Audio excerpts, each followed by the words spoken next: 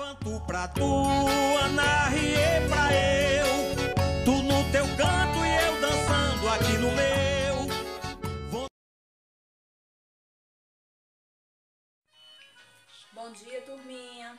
A tia voltou hoje para nós termos a nossa correção sobre a atividade de ontem, que foi sobre as regiões planas, que está localizada desde a página 89 até a 91, tá certo? Que são os polígonos que vocês aprenderam ontem, tá certo? Segmento de uma reta, né? Que são unidos, né? É, por o mesmo, é, o mesmo ligamento, por meio de uma linha reta, como a tia explicou ontem, tá certo? Então, eu já tia colocou algumas gravuras aqui que vocês podem observar aí da casa de vocês, né? Estão aqui colocadas, ó, pelo quadro, para que vocês possam reconhecer. E lembrando que todas essas figuras, elas são ligadas por segmentos, são ligadas por pontinhas que se unem para formar a figura, tá certo? Todas essas figuras são ligadas por pontas, tá certo? Mesmo os lados não sendo iguais, muitas vezes, mas eles se unem para formar um polígono tá certo? Então vamos lá. Na página 88 tem aí duas perguntas, tá certo? Que diz aqui, ó, abaixo das dos polígonos que vocês estão vendo aí, ó. Tem aí, ó. As figuras são formadas por linhas abertas ou fechadas. Então, vocês vão escrever a palavra fechadas, tá certo? Nesse primeiro tracinho, abaixo das figuras, tá legal? Segunda pergunta. As figuras são formadas apenas por um segmento de reta? Com certeza. Então, vocês vão escrever a palavra sim. No primeiro tracinho da página 88, vocês vão colocar a palavra fechadas. E no segundo tracinho, a palavra sim, tá certo? Então, lembrem-se que na página 88, vocês têm duas perguntinhas e tem que responder essas duas perguntas também, tá certo? A respeito dos polígonos que estão apresentados em cima do livro de vocês. Agora nós vamos começar na página 89, primeira questão. Tem aí letra A, B, C e D. Na primeira figura, que tem apresentado para vocês, eu pedi que vocês contassem e registrassem o número de lados de cada polígono. Então, na letra A, vocês têm quantos lados? Ó, um, dois, três. Quem colocou que na letra A tem três, está correto. Coloca o Czinho do lado. Na letra B, vamos contar. Um, dois, três, quatro. Quem colocou que tem quatro, coloca o Czinho de certo. Letra, D, letra C. Uma, duas, três, quatro, cinco. Quem colocou cinco, está certo. Coloca o Czinho de certo, tá bom? E na letra D, um, dois, três, quatro, cinco, seis. Quem disse que tinham seis lados, coloca o C porque está correto reto, tá bom? Agora, na segunda questão, vocês vão dar nome a cada polígono de acordo com a quantidade de lados. Na letra A, a gente vai colocar aqui segunda questão. Na letra A, quem colocou que era um quadrilátero,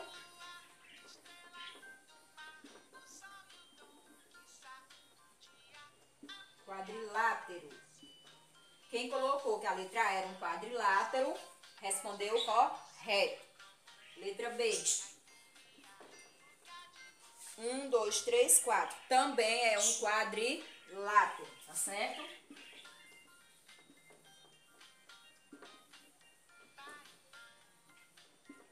Olha, quem fez na letra A e letra B quadrilátero está correto. Na letra C, nós temos uma figura com três lados. Então, nós temos o triângulo.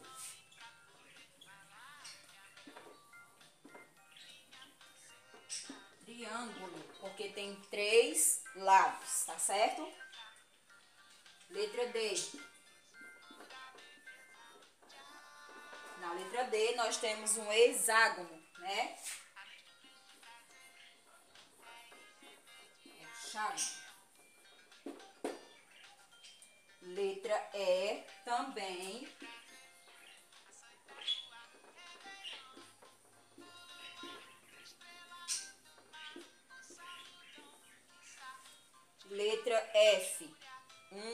Três, quatro, cinco. É um pentágono, né? Ó, um, dois, três, quatro, cinco. Exatamente. É um pentágono. Pentágono. E a letra G é um triângulo.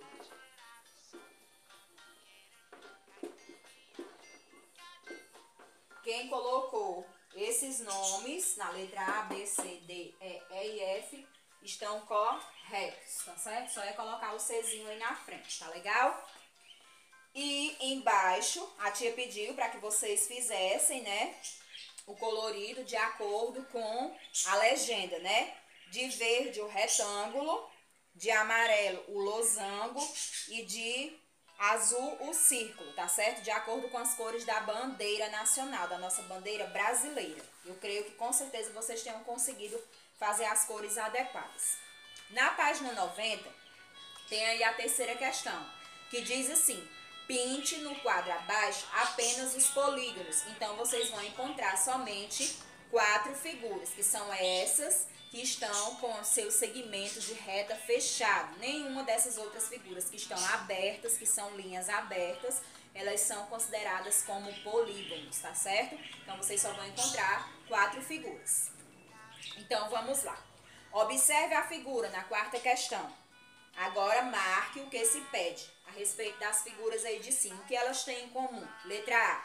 Elas formam é, a forma de um quadrado Letra B, o mesmo tamanho. Letra C, o mesmo número de lados. E letra D, a forma do retângulo. Quem marcou que todos esses polígonos acima, todas essas figuras acima, têm o mesmo número de lados, a letra C está correta.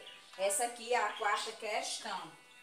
Quem colocou que a letra C está correta. Quem não colocou, apaga e corrige aí, tá? Não esqueça. Tá legal?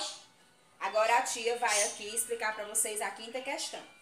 Complete a tabela de acordo com o nome das figuras e do número de lados, certo?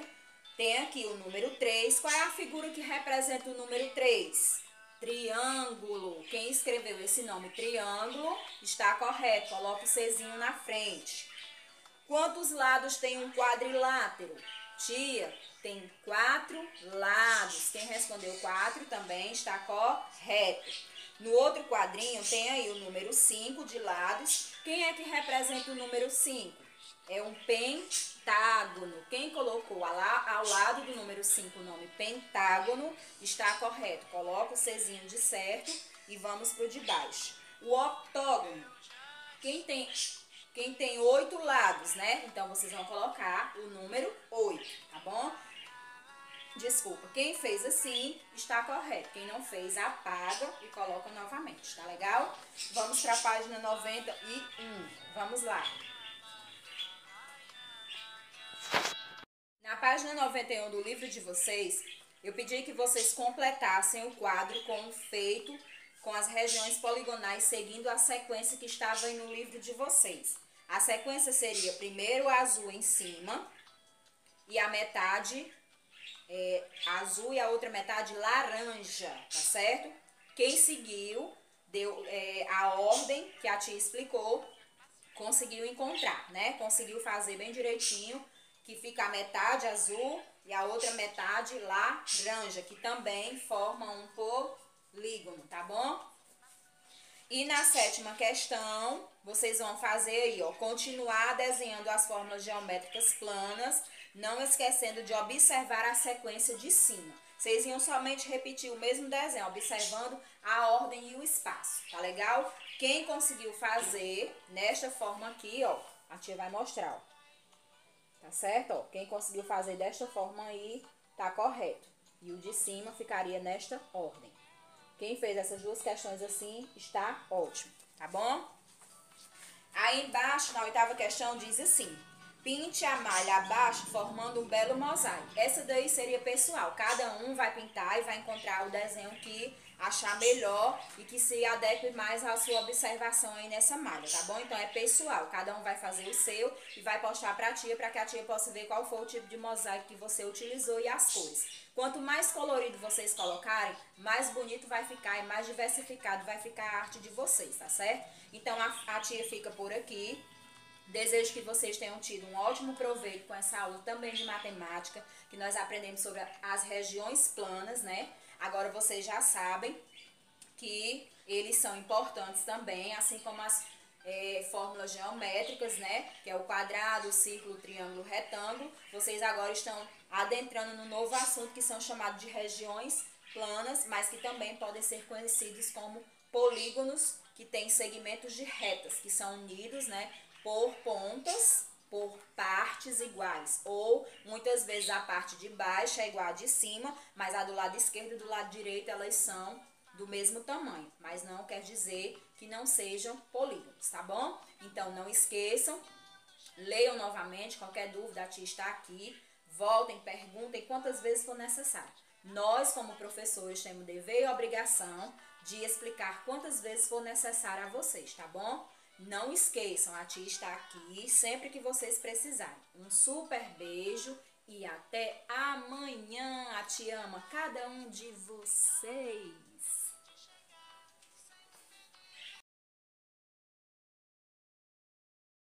Bom dia, meus amores. A tia voltou aqui para ter mais uma aula com vocês, tá bom?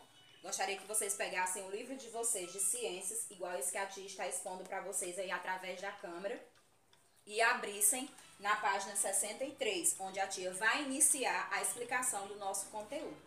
Como vocês sabem, nós, seres humanos, as plantas e os animais, necessitamos de um ar. E onde está esse ar? Para que ele serve? E como nós adquirimos esse ar? Nós vamos descobrir todas essas curiosidades na nossa aula, tá certo? Então, lembre-se que mesmo, mesmo sendo o ar, ele também ele não tem cor, incolor, ele não tem sabor, ele é insípido e ele é inodor, não pode ter cheiro. Ele tem que ser um ar puro, tá certo? Nós necessitamos de um ar puro, sem poluição, tá certo? Para que nós possamos respirar um ar de qualidade, tá legal? Vamos lá. Aqui diz, página 63. O planeta Terra, ele está envolvido por uma camada extensa de ar chamado atmosfera, tá certo? É uma camada extensa, é uma camada em maior quantidade, tá certo? É aonde é envolvido o ar atmosfera, na atmosfera, é o local onde se armazena o ar. Então vamos lá. Sem ele seria impossível existir vida no planeta pois os dias seriam muito quentes e as noites seriam bastante frias. A atmosfera funciona como um regulador de temperatura do planeta. Exatamente. Esse local é exatamente para manter a temperatura ambiente. É uma temperatura que nem vai ser frio demais e nem quente demais. É a mesma coisa, nós temos a geladeira em nossa casa, ela tem uma temperatura dentro dela e fora da geladeira nós temos outra, que é chamado de temperatura ambiente, tá bom? Então, essas aí podem ser as diferenças que vocês já encontram na casa de vocês. Tem algumas pessoas que têm ar-condicionado, né? Outras que já utilizam ventilador.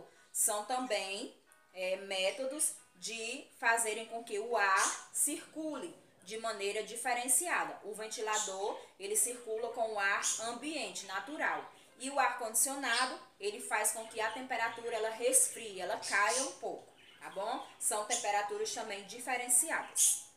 No livro de vocês fala que o ar ele é composto por uma mistura de vários gases, como o gás carbônico, o nitrogênio e o oxigênio.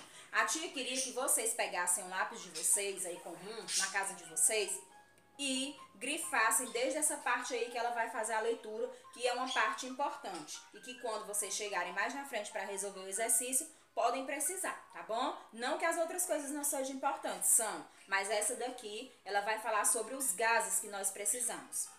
Então aí diz, ó, o oxigênio é um gás indispensável aos seres vivos, pois é o Oxigênio é aquele gás que nós respiramos, tá certo? De onde vêm esses gases, professora? Nós podemos dizer que esses gases nós adquirimos através das plantas. Por isso que um lugar que tem mais plantas, nós conseguimos respirar um ar mais puro, tá certo? Sem tanta poluição, tá legal? E aqui fala também que o nitrogênio é um gás é, mais abundante, quer dizer que ele existe em maior quantidade no planeta Terra. Já o gás carbônico, ele é necessário para que os vegetais, é, os vegetais fa fabricarem o seu próprio alimento, justamente. Eles precisam desse tipo de gás para que possam se gerar novas plantas, tá certo? Novas mudas. É daí onde saem seus novos filhotes, assim dizendo, tá legal? Aí aqui fala também que nós podemos perceber a presença do ar em várias situações e em diversos lugares, justamente. Quando observamos bolas voando no céu ou uma pipa, percebemos o ar na atmosfera, tá certo? Ele está sendo levado pela pressão do ar, pelo vento, tá certo? As folhas balançando ou o vento que, se, é, que sentimos também nos mostram a presença do ar. Nós podemos perceber o ar em muitas situações, tá certo? Desde a hora que nós entramos num carro para andar com a janela ou vidro aberto, na hora que nós pilotamos uma moto, nós estamos percebendo também a presença do ar em diferentes situações, como foi citado no livro de vocês. Aí aqui diz, ó, o ar puro, ele é um ar incolor, que não tem cor. O ar inodoro não tem cheiro. E o insípido, ele não tem sabor. Assim como a água, o ar também tem que ter essas três características também são essenciais. Eles devem ser incolor, insípido e inodor. Cada um é importante, é de suma importância. Cada um tem a sua participação, certo? Aí aqui diz, ó, ele está presente no solo, na água, nos vegetais e no corpo humano e dentro dos de objetos, tá certo? Então, devemos sempre preservar o meio ambiente, pois assim nós, seres humanos, os animais e as plantas também agradecem, porque é por onde nós iremos ter um ar mais puro e saudável tá certo? Então, eu gostaria que vocês virassem aí para a página 64, onde eu vou falar sobre o vento e o ar em movimento. Vamos lá? Abram aí. Pronto, pessoal. Aqui na página 64 do livro de vocês, nós vamos falar sobre o vento e o ar em movimento, tá certo? Aqui diz, ó, que podemos perceber a existência do ar por meio dos ventos. Eles podem ser classificados como brisa, ventania e furacão. O que seria essa brisa? A brisa, como chamamos, é o ar que se movimenta em forma suave. É aquele ventinho suave, né? É quando ele balança as flores, espalha as sementes e nos refresca, tá certo? Então, isso aí é considerado como brisa. O que seria a ventania? A ventania são aqueles momentos em que o ar em movimento com mais força, tá certo? Que a brisa, que até fica difícil andar contra o vento. É quando a poeira levanta, formando por várias vezes redemoinhos. É quando tem aqueles furacões, tá certo? Que a gente chama aqueles furacõezinhos rodando, aquele redemoinho, tá bom? E o furacão são ventos muito fortes, tá certo? Ou tufões são ventos mais fortes capazes de provocar grandes devastações, como a destruição de casas e plantações. Justamente, esses furacões, eles são aqueles ventos exagerados, né? Que a gente de repente vê em determinadas regiões, mas aqui, graças a Deus, ainda, né, nós não podemos perceber, mas nós sabemos que muitas vezes passam aí nas televisões, em grandes reportagens, né, de repente começou a chover e começou aquele furacão, derrubando tudo, árvores, postes, fazendo uma grande devastação nas cidades, não é assim? Então, os ventos eles podem ser é, classificados como brisa, ventania e furacão. São é, as três as três classificações de como a gente tem a percepção do vento, tá certo? Na página 65, a gente vai falar sobre a direção e a velocidade do vento, por onde é que as pessoas podem observar, tá certo? Nós já falamos um pouco sobre isso também na aula de é, na outra aula aqui do nosso livro, né? Quando a gente citou os instrumentos que a gente utilizou, né, para fazer a percepção e as pessoas que estudaram sobre essa parte aí, né? Eu já falei isso aqui para vocês, tá certo? Sobre é, os instrumentos que são utilizados para que nós possamos fazer a, o estudo, né, das, das estações do ano, também de como está o tempo, o clima. Eu creio que vocês devam ter lembrado aí, tá certo? Então diz aqui, ó, Existem alguns aparelhos usados para indicar a velocidade e a direção do vento. Vejam quem são eles: a biruta, o cata-ventos e o anemômetro, tá certo? Só que vocês não conheciam aí, era o anemômetro, porque a biruta e o cata-ventos, eu creio que vocês lembram, né? Que a gente já falou, tá bom? O que é que a biruta indica? Ela indica a direção do vento e é um aparelho que é indispensável aos aeroportos pois os aviões só devem levantar voo e aterrissar no sentido contrário ao vento. Então, as pessoas que trabalham nos aeroportos, que são responsáveis pela a decolação e o pouso dos aviões, né, ou helicópteros, aeronaves, eles têm que se basear por esse tipo de instrumento, como disse bem aí. Já o catavento, ele indica a direção do vento e o uso de, é, ele, dele é doméstico, Atualmente ele é utilizado também de forma decorativa em casas mais antigas, né? Essas casas que as pessoas fazem e as chamam de chácaras ou sítios, tá bom? As pessoas colocam mais é só para um enfeite mesmo, tá certo?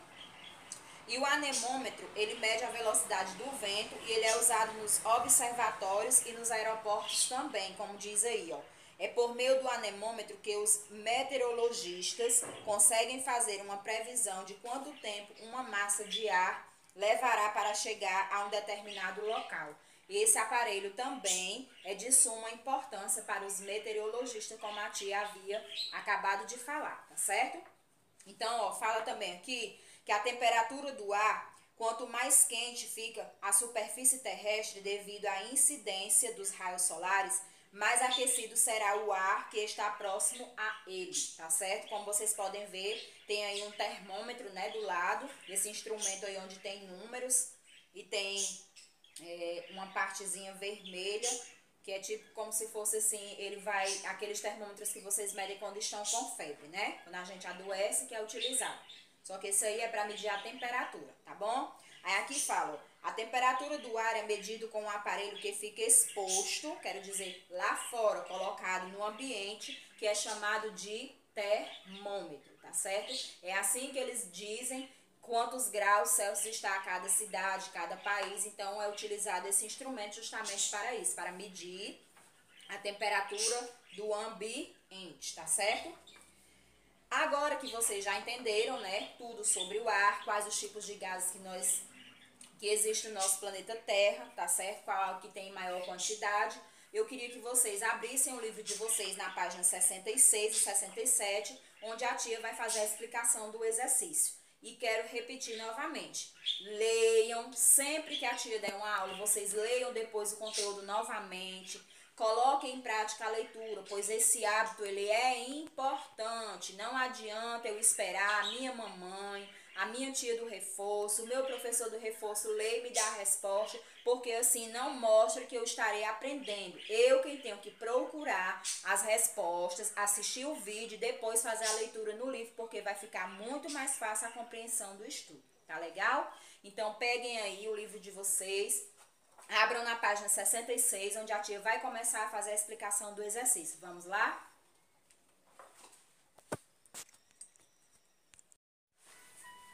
Pronto, pessoal. Agora a gente voltou para te explicar para vocês todo o exercício. Depois vocês leiam novamente o conteúdo, se necessário, mas leiam. Procurem vocês mesmos as respostas. Mostrem que vocês conseguiram entender, tá certo? E qualquer dúvida que vocês tiverem na hora de resolver o exercício, me chamem. Assim como muitas vezes vocês fazem, tá bom? Então vamos lá. A primeira questão da página 66 diz assim: responda. Tem o quesito A e B. A tia vai ler o A. O que é a atmosfera? Aí você vai colocar que a atmosfera é a camada de ar que envolve o nosso planeta. A tia já deu a resposta da letra A. Letra B. Qual o objeto, qual objeto pode ser utilizado para registrar a temperatura do ar? Nesse instante a professora falou sobre ele e até comparou ele com o que mede a temperatura de vocês quando vocês estão dodóis aí na casa de vocês, lembram? Então vamos lá. Na segunda questão, tem uma imagem, tá certo? De um lugar aonde estão mostrando vários tipos de situações.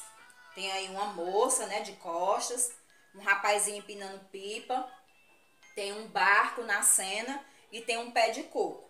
E a praia, né, a água estão um ambiente bem no litoral, como a gente pode ver, uma imagem de praia. Aí o que é que vocês vão fazer? Circule na ilustração o que comprova a existência do vento, que você está observando que o vento está a favor ou em auxílio deste objeto ou desta pessoa. Que está batendo na pessoa, está voando o cabelo, está movendo a planta, você vai observar e vai circular, tá legal? Na terceira questão diz assim, ó. Escreva certo, a palavra certo, ou errado, para as alternativas a seguir. Primeiro quadrinho. A atmosfera é a camada de ar que envolve a Terra se for certo, você coloca o nome certo. Se for errado, você coloca o nome errado. Segundo quadrinho. Os ventos são classificados em brisa, ventania e furacão. Vocês nesse instante ouviram a explicação da tia sobre a classificação dos ventos, lembram? Pronto, se for certo, você escreve certo. Se for errado, você escreve o nome errado. Terceiro quadrinho. A temperatura do ar é sempre a mesma?